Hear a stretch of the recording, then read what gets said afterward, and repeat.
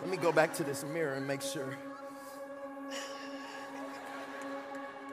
You know, the most discouraging thing about working out is if you work out always looking for the result, it, it will discourage the work. I, I came to challenge somebody. I feel this. God is having me press right here because somebody is about to look at the thing that measures if you've been successful or not.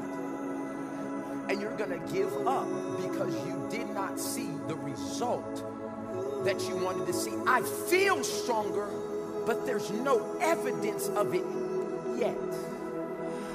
And what many people in the body of Christ are doing is they're stopping the progress that they should be making spiritually, physically, emotionally because they don't feel like